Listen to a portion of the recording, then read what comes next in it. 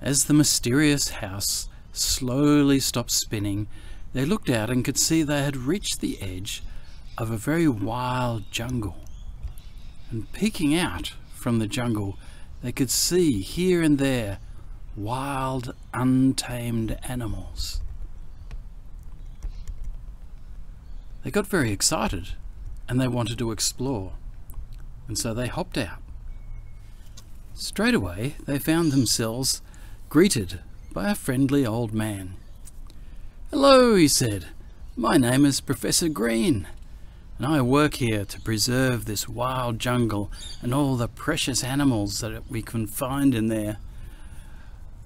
Hello, they said, we're the Blues Brothers and the Green Sisters.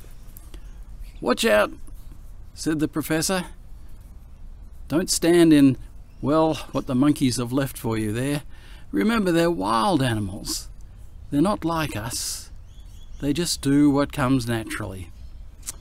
Oh dear, said the Green Sisters. Well, we will be careful. Does that mean some of the animals are dangerous? Well, of course. That's just the way that God made them. And it all seems to work beautifully all together in this wonderful wild jungle. Wow, they said. Very impressive. Wait, wait! Up come an all-terrain vehicle with uh, a couple of attack dogs in the background. Wait, my friends, my dear, dear friends. My name is Mr. Quickbuck, and have I got a proposal for you? Yes, welcome, my friends. I'm... Oh, what's that I trod on? Oh, it stinks. Oh, I hate the wild. I hate the wild. My name is Mr. Quickbuck, and I would like to make you very, very rich, my friends. I see you green sisters of Blues Brothers have brought this magnificent, mysterious house. And with it, I wonder if you could take away all of these wild animals.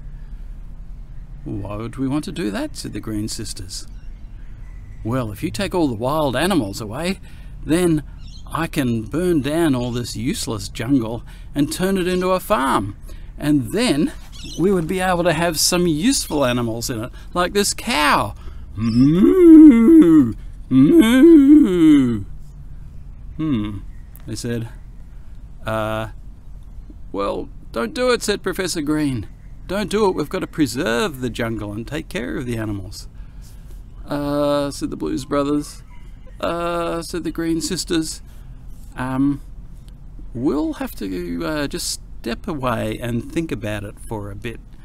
Um, we were taught how to pray and to ask God to help us. And so we're going to ask, what would Jesus do? And so off they went to pray.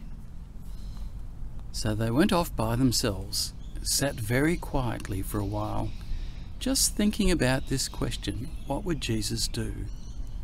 And they asked Jesus in their hearts, What would you do, Jesus? Would you preserve the jungle or burn it down and start a farm?